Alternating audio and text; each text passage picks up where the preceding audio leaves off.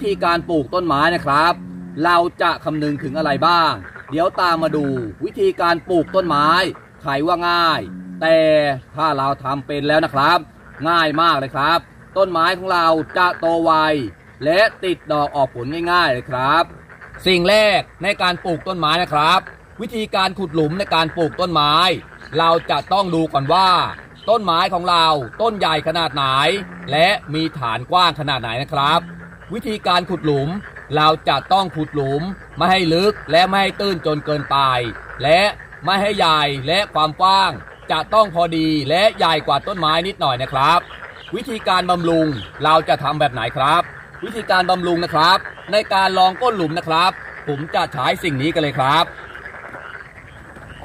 เป็นปุ๋ยมูลสัตว์จะต้องแห้งๆแบบนี้นะครับสำหรับมูลสัตว์ไม่ว่าจะเป็นมูลวัว หรือมูลควายทุกชนิดนะครับ เราจะต้องตากแดดให้แห้งก่อนนะครับ ก่อนจะนำมาลองก้นหลุม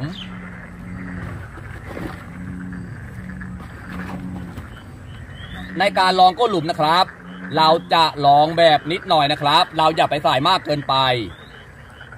เราลองก้นหลุมในการใส่ปุ๋ยเพื่ออะไรครับ ในการใส่ปุ๋ยลองก้นหลุมแบบนี้นะครับ จะทำให้ต้นพืชของเรานะครับรากหาอาหารได้เร็วขึ้น และต้นพืชของเราจะเจริญเติบโตได้เร็วขึ้นนั่นเองครับ ทุกท่าน เคยสังเกตไหมครับว่า เวลาเราไปซื้อต้นไม้นะครับ ตามร้านขายต้นไม้ ส่วนมากจะมีปุ๋ยนะครับ หรือว่ามูลสัตว์อยู่ด้านล่างนะครับ และในการปลูกต้นไม้สำหรับปลูกลงดินแบบนี้เราก็จะต้องลองก้นหลุม โดยใช้มูลสัตว์นั่นเองครับ จะไม่ส่งผลเสียกับต้นพึ่งเรานะครับ และเมื่อเสร็จเรียบร้อยแล้วนะครับ เราจะนำต้นไม้ของเรานะครับ ลงไปปลูกเลยครับ เห็นไหมครับในการขุดหลุม เราจะไม่ให้กว้าง และไม่ให้แคบจนเกินไป และไม่ลึกจนเกินไปเห็นไหมครับ ต้นไม้ของเราจะอยู่ต่ำกว่าพื้นดินนิดหน่อยนะครับ และหลังจากนี้นะครับ เราจะทำการกบเลยครับ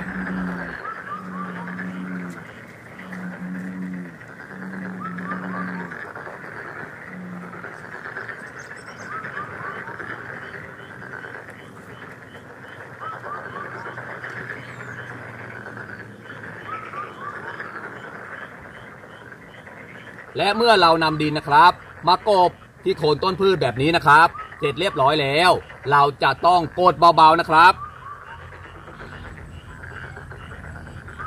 เพื่อไม่ให้ต้นพืชนะครับ ด้านล่างแน่นเกินไป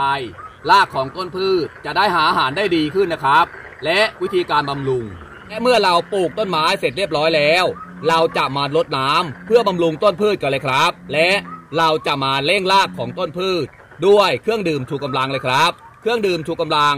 ผมจะใช้ประมาณ 1 ช้อนโต๊ะนะครับ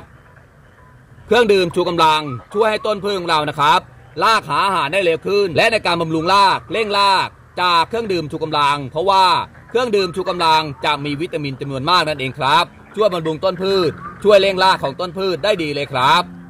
และอีกตัวนึงนะครับ นี่ก็เร่งรากเหมือนกันนะครับ โดยใช้กะปิ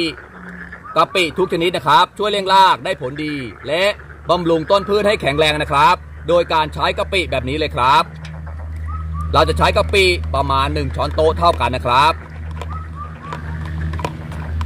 เราจะทำหัวเชื้อก่อนนะครับ ก่อนจะนำมาผสมน้ำอีกทีหนึงนะครับ เมื่อเราคนส่วนผสมทั้งหมดเข้ากันดีแล้ว เราจะมาผสมน้ำเพื่อลดรากต้นพืชนะครับ ตอนช่วงแรกครับ และในการใช้น้ำนะครับ เราจะใช้น้ำเปล่าประมาณ 5 ลิตรนะครับ และใส่หัวเชื้อลงไปเลยครับ แล้วเราคนทุกอย่างให้เข้ากันอีกทีก่อนจะนำไปบำรุงต้นพืชนะครับ ช่วยให้ต้นพืชของเราแข็งแรงรากหาอาหารได้ดีขึ้นนะครับ เมื่อรากหาอาหารได้ดีขึ้น ต้นพืชของเราจะเจริญเติบโตดี และติดดอกออกผลไวนั่นเองครับ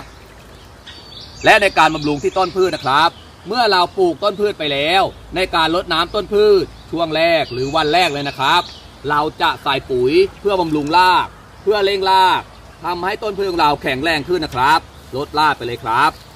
และคลิปนี้ทุกท่านมีข้อสงสัยอย่างไรนะครับ ฝากคอมเมนต์ไว้ใต้คลิปทางช่องทิทายพีชาแนลได้นะครับ และคลิปนี้ผมหวังว่าทุกท่านจะได้รับประโยชน์จากวิธีการปลูกต้นพืชแบบง่ายๆนะครับ และทำให้ต้นพืชของเราที่ไม่ค่อยแข็งแรงนะครับ กลับมาแข็งแรงขึ้น และติดดอกออกผลไวช่วยเลี้ยงรากได้ผลดีเลยครับ และคลิปนี้ก็จบเพียงเท่านี้นะครับ ฝากกดไลค์กดแชร์กดติดตามช่องวิชัยพืช channel ด้วยนะครับ ขอบคุณมากครับจากวิชัยพืช channel กระผม เมื่อเราบำรุงต้นพืชเรียบร้อยแล้วนะครับ จากการใช้ปุ๋ยบำรุงต้นพืชตอนช่วงแรกนี้นะครับ อีก 3 เดือนเราถึงจะบำรุงต้นพืชอีกครั้งหนึ่งนะครับ